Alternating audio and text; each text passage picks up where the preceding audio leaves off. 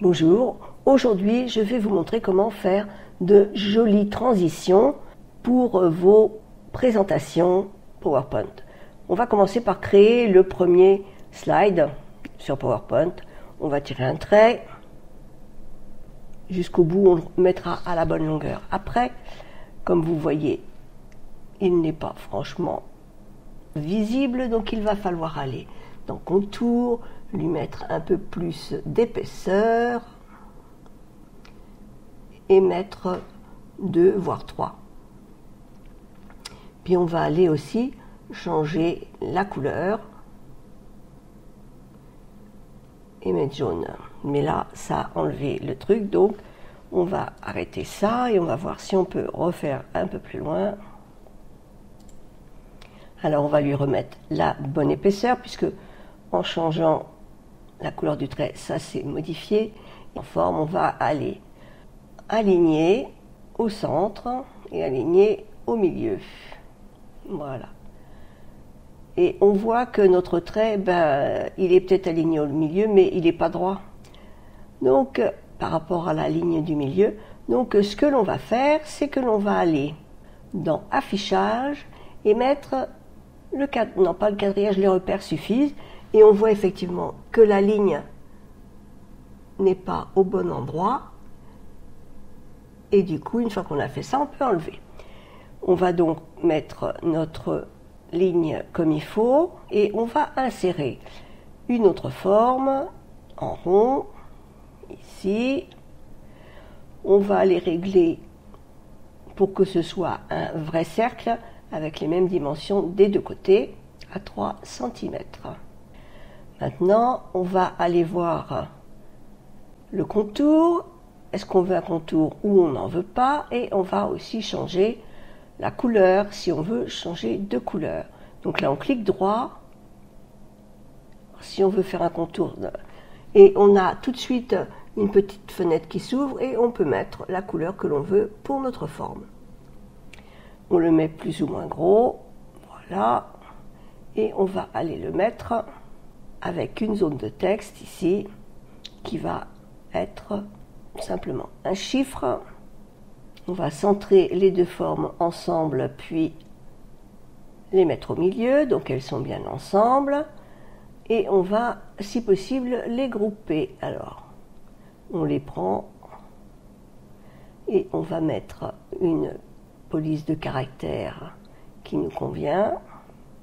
On va mettre en gras et puis on va changer la couleur et agrandir un petit peu.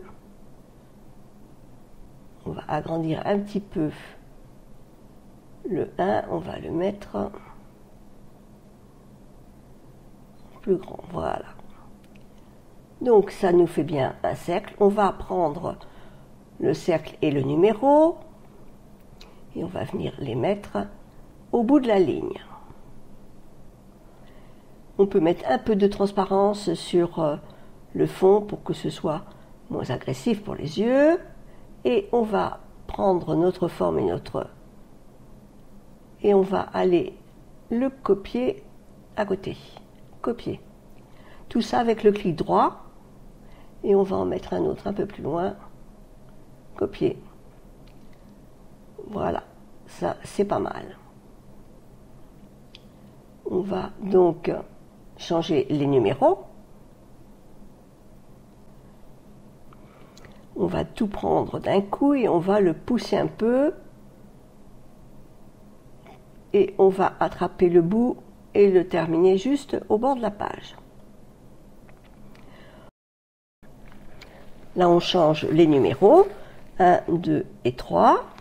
Et puis on va mettre au-dessus un titre et des informations pour chaque numéro. On met une zone de texte.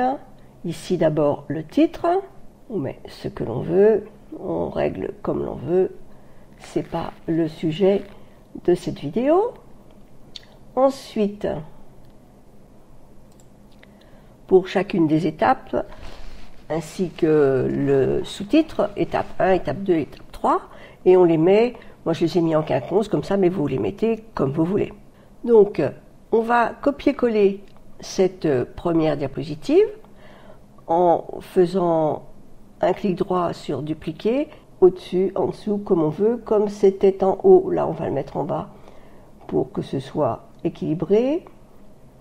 Et vous faites ça pour chaque numéro. Voici donc votre deuxième slide qui est terminé.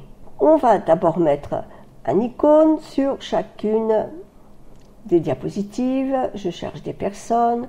Donc on va prendre celle-ci par exemple et celle-ci.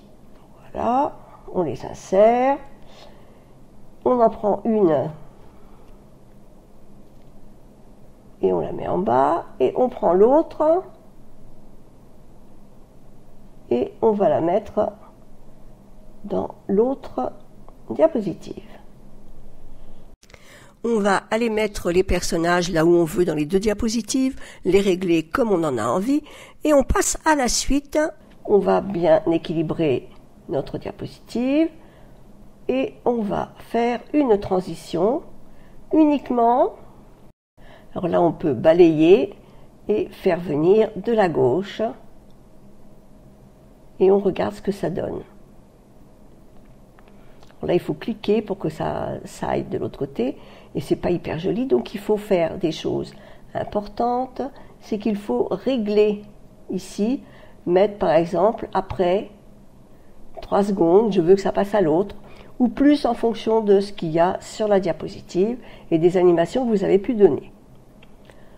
Là, on va rester sur 3 ou 4, voilà 4, et ici, on va mettre 1,75, 2 et appliquer partout. Il faut penser à appliquer là pour que ce soit appliqué partout. On regarde, donc on a notre diapositive et on passe à la deuxième, mais je trouve que ça a été un petit peu vite. Maintenant, on va aller dans la transition morph. Alors ici, on a objet, voilà, donc on va faire, on va partir de la première. Et là, je trouve que c'est plus joli de faire comme ça parce que du coup, les, la transition se fait plus en douceur que si l'on fait en fondu. Maintenant, nous allons passer à un autre type de dessin que l'on peut mettre. Une, par exemple, une barrière d'immeuble et on veut montrer les différents niveaux de l'immeuble, c'est-à-dire euh, les étages du haut, les étages du bas. Mais pour cela, on va être obligé de modifier un peu l'image, donc on va renier l'image. On va venir jusqu'ici et on va même un petit peu le faire de l'autre côté pour que ça fasse une image un peu plus en, en hauteur. Voilà, voilà. Et notre image, on va la copier une fois que cette image a été rétrécie comme on veut, on va réduire la grandeur de l'affichage pour pouvoir la faire plus grande afin qu'elle remplisse trois diapositives après. Donc il faut peut-être encore la remplir. Voilà. Hop. On fait comme ça. Et on vient mettre notre image ici. On va aller à nouveau le format de l'image et on va renier. Et cette fois-ci, on va renier par étage. Là, vous voyez légèrement en dessous la diapositive. Donc, on fait comme ça et on rogne. Et voilà le premier étage de votre maison, enfin de votre immeuble que vous voulez, dont vous voulez euh, vanter les mérites, mais vous pouvez faire ça avec n'importe quelle image pour n'importe quoi. Là, du coup, on va à nouveau renier, mais on va remonter l'image pour passer aux étages qui sont en dessous. Voilà, on a trouvé, on clique à nouveau sur renier et on fait une duplication de la diapositive et on fait la même chose, on clique sur l'image, format de l'image et on rogne. Et là, du coup, on emmène notre image jusqu'au bout alors là, c'est pas très précis parce que c'est du vert partout, donc on peut dire que les trois se ressemblent, mais vous pourriez faire ça avec une image euh, plus structurée en mettant vraiment sur chaque diapositive une légende qui correspond à ce que vous voulez euh, montrer. Là, c'est juste pour vous montrer ce que l'on peut faire. Après, c'est à vous de choisir en fonction de ce que vous voulez. Donc, on va passer maintenant à la transition de ces images. Donc, si on va ici, on peut mettre d'abord une légende quand même, c'est plus sympa. On va mettre une légende pour chaque diapositive. On fait ça pour chacune d'elles. Et maintenant, on va passer à la transition. Alors, on va dans Transition et on va choisir Pousser ou Morphose. On va choisir Morphose et là, chaque diapositive apparaît comme l'on veut. On peut penser à modifier. Voilà. Bien, faut bien vérifier que tout est fait correctement pour chaque diapositive, sinon ça va pas bien fonctionner. On met trois ici. Voilà. Et après, c'est parti. On va recommencer à regarder le diaporama.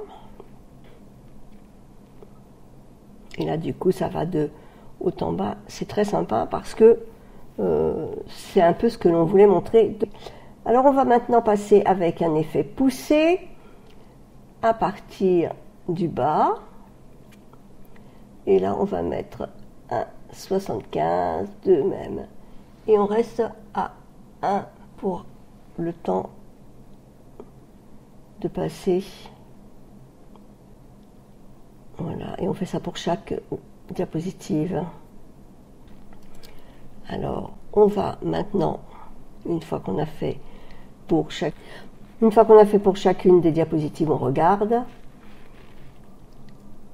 Je trouve que c'est moins fluide que lorsque l'on passe avec le morphe, lorsque l'on passe en transition morphe. Mais bon, c'est à vous de choisir. Pensez à laisser vos commentaires, donnez votre avis pour que je puisse vous penser à laisser votre avis et vos commentaires et poser aussi vos questions si vous en avez. Et on se retrouve dans une prochaine vidéo. À très vite.